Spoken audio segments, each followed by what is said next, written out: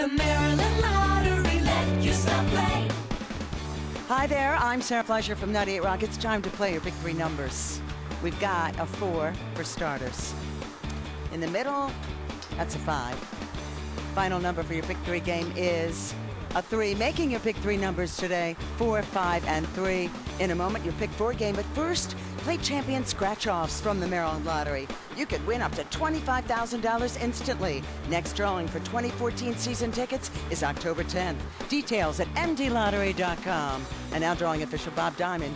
He's all set, ready to go with your pick four numbers as he selects a four for starters. Next number is a seven.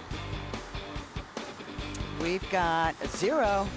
Final number for your pick four game is a four. Recapping the pick four game today 4704. The Maryland Lottery. Let yourself play.